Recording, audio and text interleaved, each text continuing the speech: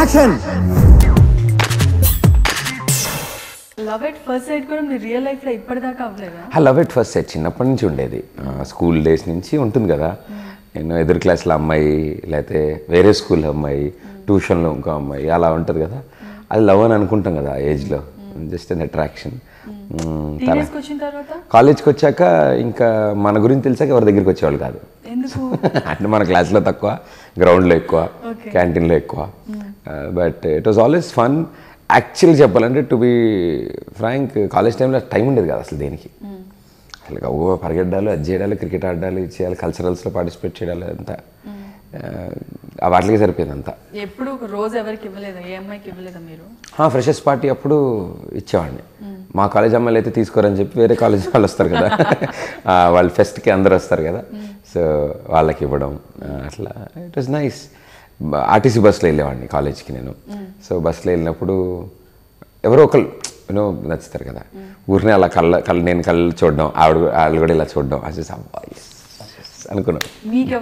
Return? నాకు నాకు ఎవరు ఇవ్వలే కాలేజ్ డేస్లో ఎవరు ఇవ్వలే. కాలేజ్ తర్వాత ఇప్పుడు కూడా ఇవ్వలేదా? ఇప్పుడు ఇస్తారు. ఇప్పుడు అసలు పాపం ద వెరీ స్వీట్. వాళ్ళ లవ్ డిఫరెంట్ అసలు.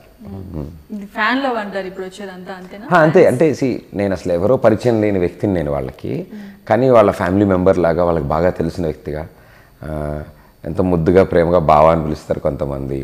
మెసేజెస్ చేస్తారు కవితలు రాస్తారు పాటలు. అన్ని అన్ని మెసేజెస్ చూస్తారా. అన్నీ చూస్తాను మ్యాక్సిమం కవర్ అవుతాయి.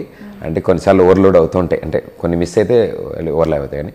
బట్ ఎక్కడొక్కడ కనిపిస్తాయి. ప్రాపర్గా ట్యాగ్ చేసి మరీ నాకు పంపిస్తారు కదా.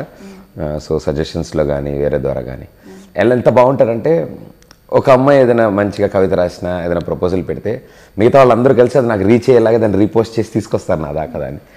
So all I says that they are like very sweet persons నా ఫాలో అవుతున్న వాళ్ళందరూ చాలా పాజిటివ్ పీపుల్ చాలా సాఫ్ట్ ఉంటారు. అంతగా వైలెంట్గా రియాక్ట్ అవ్వడాలి అలా ఉండదు మరి లవ్ ప్రపోజల్స్ చేస్తే దానికి ఎలా రిప్లై ఇస్తారు?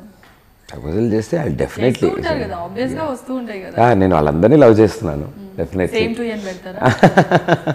యా అంతే అలాగే సేమ్ అండ్